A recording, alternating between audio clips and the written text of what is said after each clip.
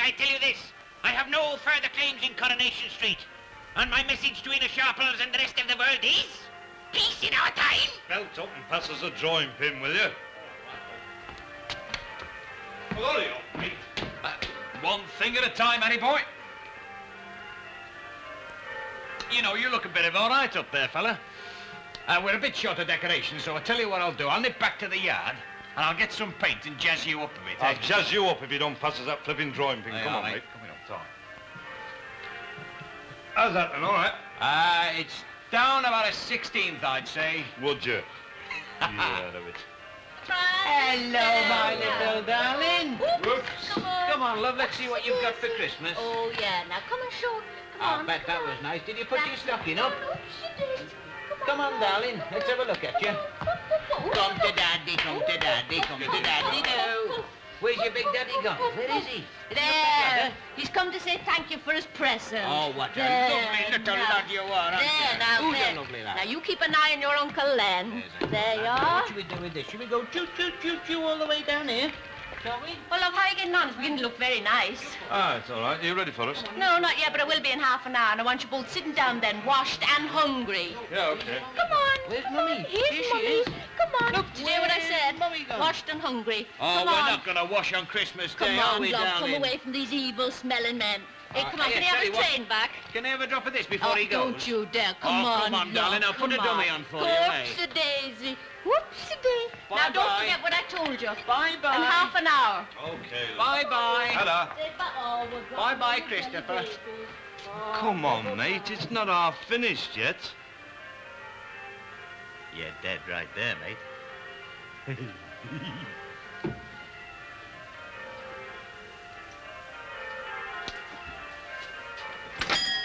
Christmas. And to you, love. Can't stop, got a house full. Merry Christmas, love.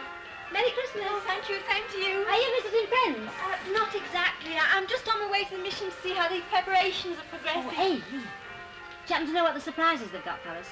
Well, not really. I, I have heard something, but I'd better not say in case it isn't true. Oh, go on, you can tell me.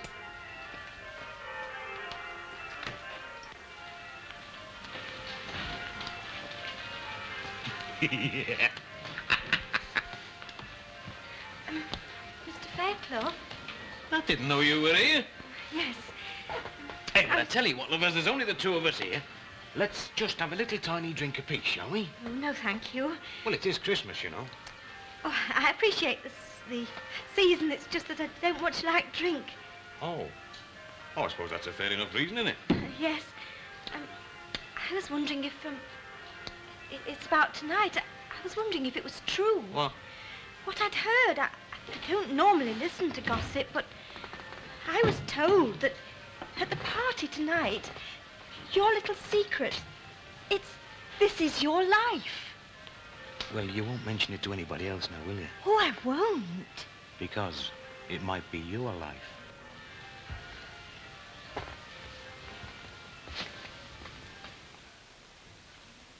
If every family in England bought a leg of pork this Christmas and said blow your turkeys, it'd be three bob a pound next year. Why don't we do it? We did. We had pork. Oh, yes, of course. Needs more than us.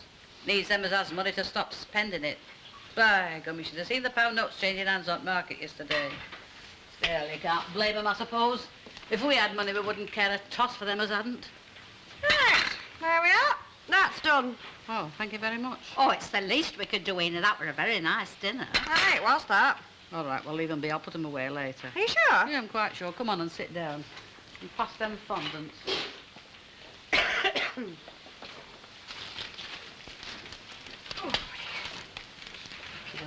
Pass one to me. Have a fondant, love. Mm, it's nice. Hey, I'll bet he were only kidding. Oh, Dennis Tanner. I bet he were up to his old tricks. I don't know about him. You're up to yours. What are you on about? Well, he were talking to me about the party tonight. He said they were going to play a certain game. Oh, I know about that. What did he say? Yes, that's what I heard. No need to whisper. I know and all. Oh, it's right then, is it? No reason why it shouldn't be. Did you happen to hear who it was going to be? I had heard it was you. Oh, some hopes of that. How did you hear that, Tina? There you are, you see. She's already up on that stage with all her family round her. Am I eckers like? It might be worth it to hear the true story of Lily and Will. I've no secrets. My life's an open book. Apart from you're one of few, them. Well, there are things in my life as I wouldn't like to come out, uh, not in front of strangers. Then you'd better not go, then. Oh, it, it won't be me. Hey, suppose it's you, Ena. Well, I'd give them their money's worth, especially if they're sent to Australia for my cousin Letty. I'd tell her what I thought about her, and I wouldn't care who was listening.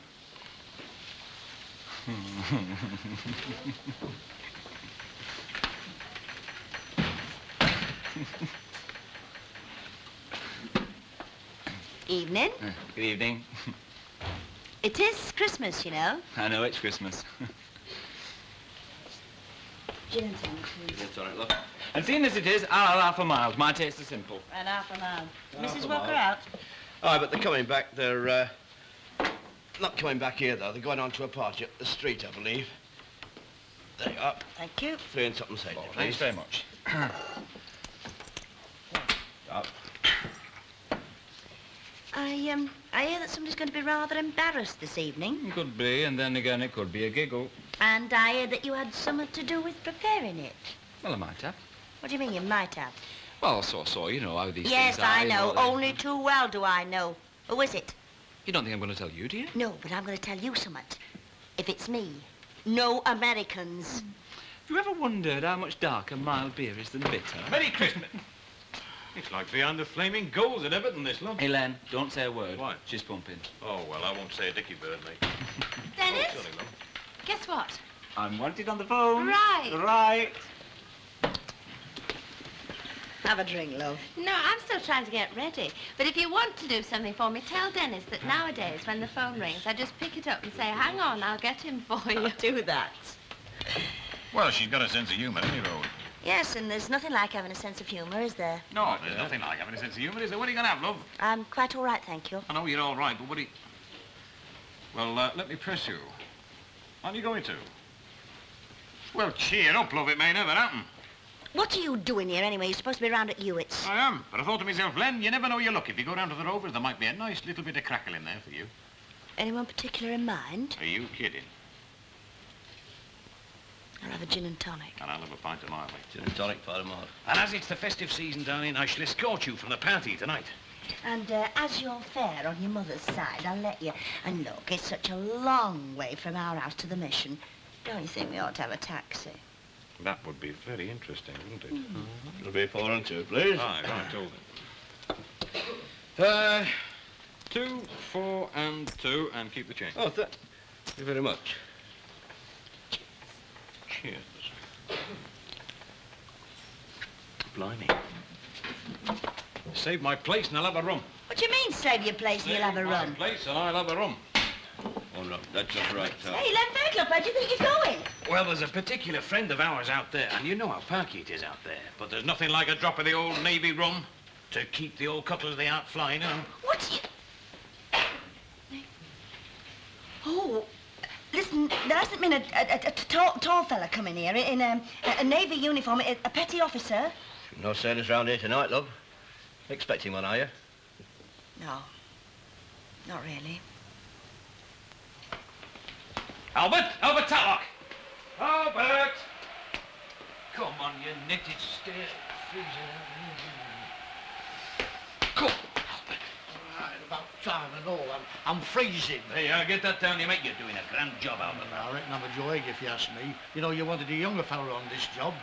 When did they come in? I don't know. Your guess is as good as mine. But as soon as they all arrive, nip into the vestry there and tip us the wink, won't you? Yeah. You've got your list, haven't you? I've got my list. Right, fair enough. You're doing a grand job, Albert. Right, and when are you going to bring us another one of these? Uh, not yet, because I've got a date round here.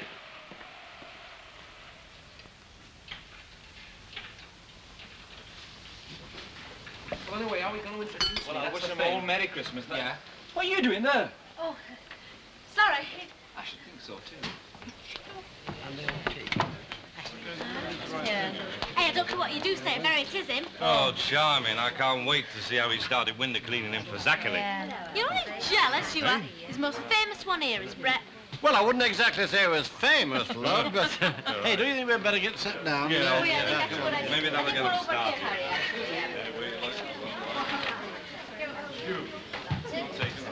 Hey, put that down. Here. Hey, hello, it is. Hello, how are you? Don't say that. Hey, get them all organised, mate, before it gets round the organ. I'm not a kid, you know. Uh, ladies and gentlemen, would you please take your seats for the main attraction of this evening? Thank you. Right, whereabouts do you want to sit, off? Oh, doesn't matter, love, anywhere. Well, uh, behind Mr. and Mrs. Walker, if you like. Yeah, okay. I'll tell you what, you sit on uh, outside, you'll be able to see better. Hey, I'll tell you what. I bet it's you. Oh, get away, we've not been in the street long enough. Hey, Mrs. Walker, what would you do if it was you? Me, love? I'd die. Ladies and gentlemen, I want to welcome all friends here tonight. Thank you. There are a few faces we don't know, but not to worry, because everybody's welcome. Just keep your eye on the door and don't let anybody else in. Right, now, before the main attraction this evening, just a few words from the man without whose generosity and appreciation of friendship none of us would have been here tonight. Tomorrow, the world may know him as Brett Falcon. You see, they've started already. Tomorrow, Brett Falcon, but tonight, Walter Potts. Told you so. Oh, no. Well, it's not him. Well, who said that? Not you it is. Well, uh, thank you very much, ladies and gentlemen, uh, for coming. And uh, I, I'd just like to thank everyone who's helped me up the ladder of success. Don't forget I out pass your bookie, up. Well, now, just uh, carry on and enjoy yourselves, and, and back to Mr. Tanner. Thank you, Walter. Ladies and gentlemen, this is the moment you've been all, all been waiting for. Tonight, we're going to take a stroll down memory lane with someone from this audience. Someone you all know well. Now, I wonder who it could be. Keep walking. Good evening, Mrs. Turner. Merry Christmas, Mr. and Mrs. Walker. Good evening. Hello. Good evening. Ah, Mrs. Linley, Miss Nugent. oh, Mr. and Mrs. Booth, our latest newlyweds. Uh, round of applause, please. But now, now the time has come to invite our guest to come up on the stage. So join me in a stroll down memory lane, Mrs. Annie Walker. You might have told me. Yeah, I didn't know that.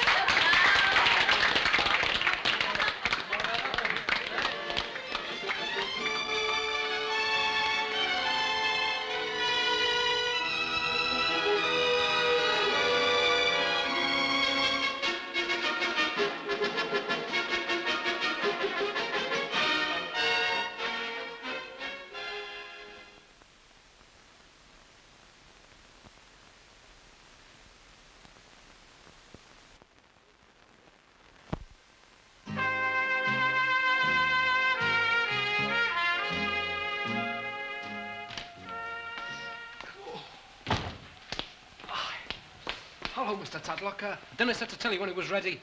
Oh, right, oh, oh, oh, you don't know Joan, do you? No. She's Mr. and Mrs. Walker's daughter. Oh. This is Walter Potts. How's you do? How do you do? Walter sings. Oh? Oh, well, I better be getting back, eh? Yeah, right, yeah. We'll, we'll come in as soon as Billy comes. Oh, right, oh.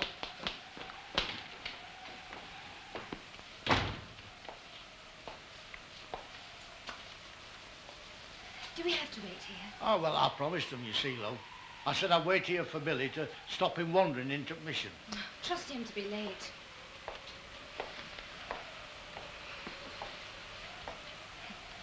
Doesn't change much, does it? No, not so as you know, does it? No. How's Derby? Oh, it's very nice. Busy, of course, Yeah. but then we're outside the town. Oh, come on, Billy. It's, uh, it's a good duty getting up for your mother tonight, isn't it? Mm. You didn't pay our Billy's fare, did you? Yeah, just like. Hey, wouldn't have got ten miles out of London with what we've got. No, when young Dennis Tanner rang him up, he said he was thinking about giving his father and mother a surprise anyway. Oh. Merry Christmas. Merry, Merry Christmas, lad. And me loving sister and all. Oh, How are you, oh, kid? cold. How are you? You're getting as fat as a peg. I am not getting fat. Hey, you're not, uh... No, I'm not. Oh, it's about time she is, isn't it? Shouldn't we be going in? Ah, yes, sir. I've got started now. Ah, come on. Hey, old girl will be queen in it in there. You haven't changed, have you? Come on. And I can think of no better place to begin with than this message brought to us by our telephonic link and recorded earlier today. My dear Anne, it gives me the greatest pleasure to record this message on a Christmas day, which may well be a highlight in your life. Mr. Forsyth Jones. I will long remember the smile of friendship you bestowed on a rather lonely man, and the welcome you gave me when I visited your city. I can picture you now, gathered around you, your charming husband, and the many friends I made during my all too brief stay. I send each one of them my very, very best wishes.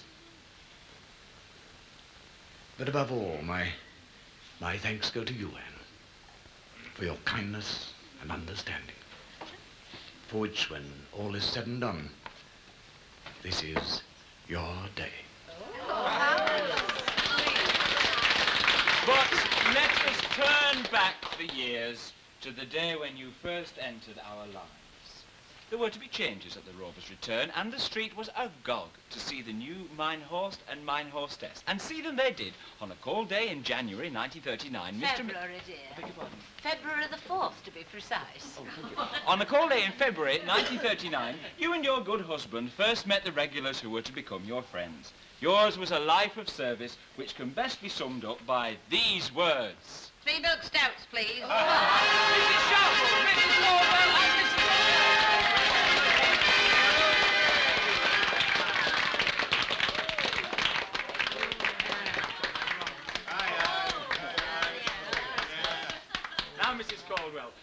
peculiar happened that first night at the Rover's return. Can you tell us what it was? No, I Just a can't. minute. Uh, it was January, you know. Pardon, Mrs. Sharp. It was January when you moved in. It was February. All right, have it your own, Rob, but I'll still say it was January. Uh, yes, yes, uh, Mrs. Caldwell, something peculiar happened that first night. Something unforgettable. Oh, yes. Oh. I what it was. Uh, you uh, went up to the bar, right? Yes. And you ordered some drinks. Right? Oh, yes, yes, now I remember. And when I come to pay, I hadn't got enough money with me. And the first thing that Mrs. Walker says to me was, have them on me. I don't remember that. Have them on me. Words from a generous heart. Thank you, ladies. You take your seats, please. in the body of the hall. Thank you very much, Mr. Sharple. But generosity was not enough.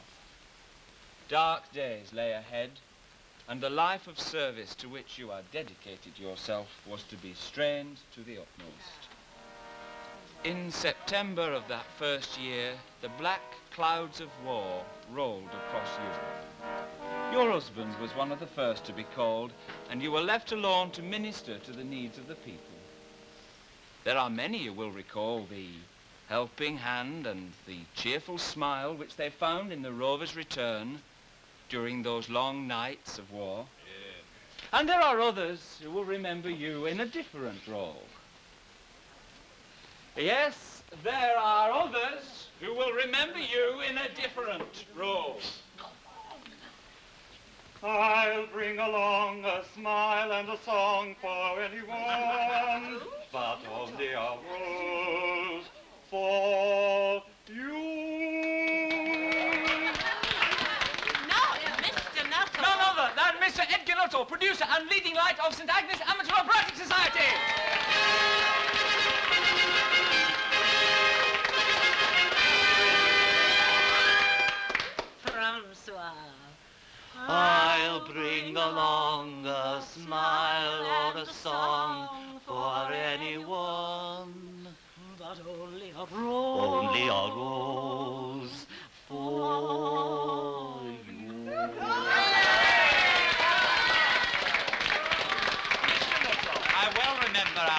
First meeting, long before that famous duet from The Vagabond King, in the autumn of that perennial favourite, The Desert Song.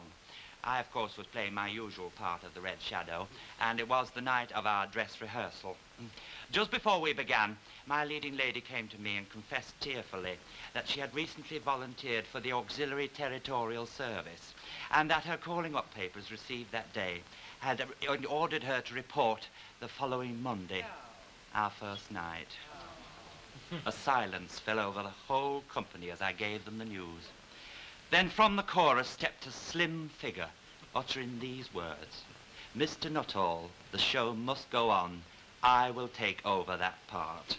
It was, of course, Anne. I auditioned her on the spot, and she was given the part. And need I say it was an unqualified success. And as a further reminder of that first night, we bring you this picture. Oh. Thank you, Mr. Nuttall. Oh, thank you. Service to her customers. The harsh, demanding glare of the spotlight. These were not the only demands made on Mrs. Walker's time during the long years of war. The burden of motherhood had been placed upon her. Could we have the family pictures, please? And now, 200 miles from the Bluebell Garage, Chiswick, London, we bring you this voice. I don't care what they say about you, Mum. I think you're lovely.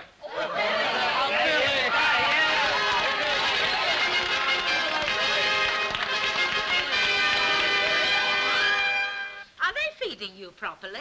Marvellous. Well, you don't look as though you put an ounce of weight on, love. Oh, never mind. You've put on enough for both of us. Oh, but families come and families go, and the first to leave Coronation Street was your daughter, Joan. But now, returning to the scenes of her childhood, is your daughter, Joan, from Derby. Hello,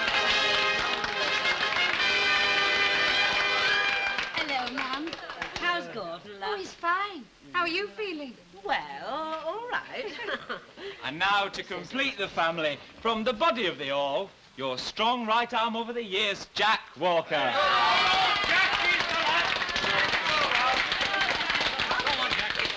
Of course I am.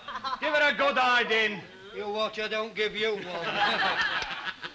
As we see you now, surrounded by your family, it is hard to picture the life of romance and glamour you've sacrificed for the cause of service. Let me go back then to the most glamorous day of your life with these words. I know that's not your real air, Lady Godiva, so watch out for this here low bridge coming up. See if it whips your wig off, you won't have look a rating. The man who led the horse on which you rode as Lady Godiva during the co-op pageant of the ages, Mr. George Stubbins.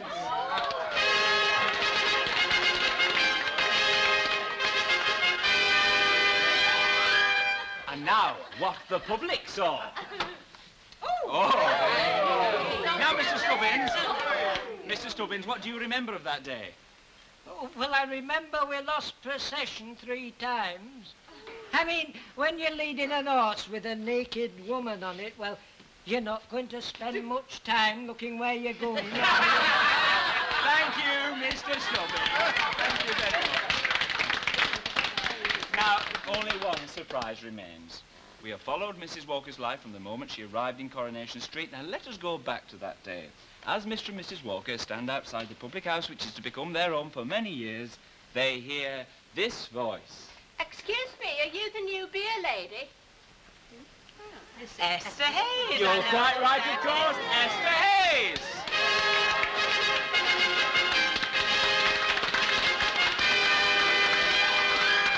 Can you tell us, Miss Hayes, what Mrs. Walker replied? I can, because I, I remember it very well. She said, not exactly, love, the new landlady.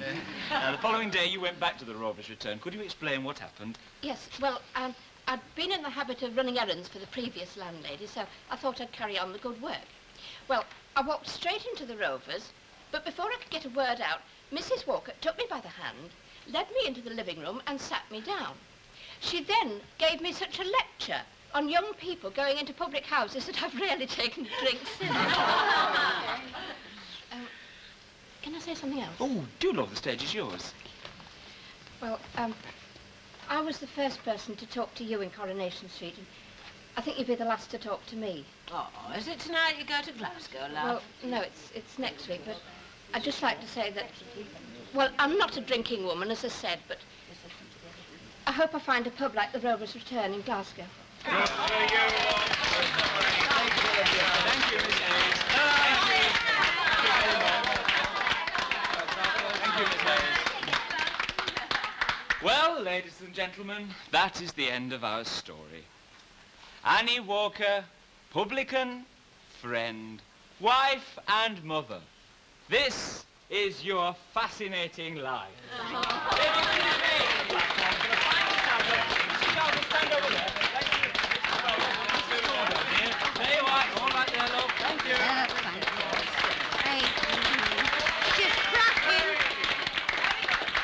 she's a jolly good fellow, for she's a jolly good fellow, for she's a jolly good fellow.